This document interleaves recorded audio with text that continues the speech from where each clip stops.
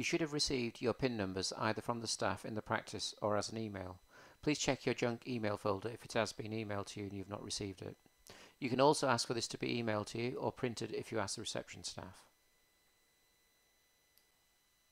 Go to the App Store on an uh, iOS device or Play Store on Android and search for Patient Access.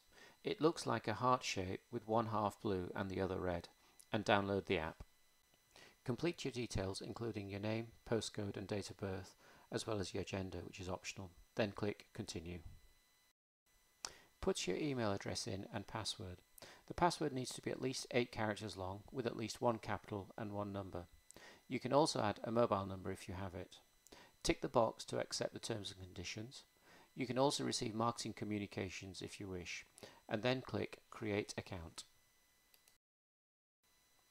Now click on Link GP Practice.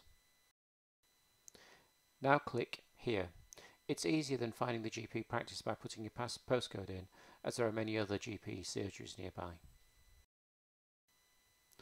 Now look at your PIN numbers and write them down into the app. Then click Confirm.